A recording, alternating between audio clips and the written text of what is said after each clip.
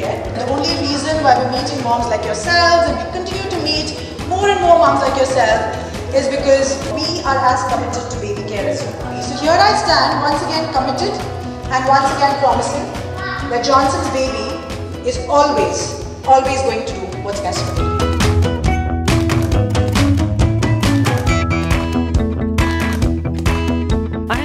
Extensively used products of Johnson & Johnson while I was abroad and uh, after coming to India I see there's a difference in the product. So why is that difference and what is the reason for it is something I want you to help me out with.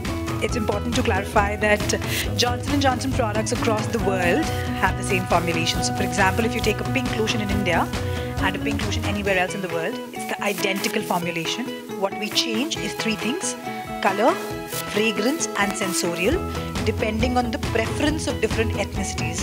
So कुछ countries में people prefer to have fragrance products, कुछ countries में people prefer to have certain colors. Those are the only things we change. The basic formulation and ingredients of the variant that you're choosing is going to remain the same across the world.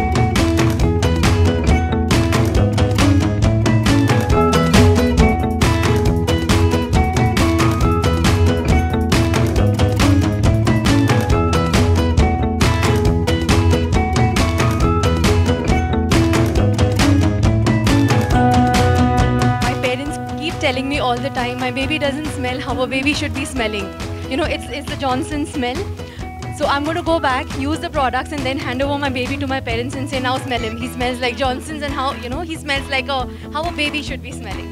I would say Johnson's is listening, everybody's listening. So you have something to say, all you have to do is write an email or connect with them. That's what I learned. You have a concern, write to them instead of going to anybody else. At this place I is putting so much of effort uh, to bring out the best for your baby. So my mantra now is natural or no natural, do what is best for your baby. And indeed Johnson's has proved that they are doing the best for the baby.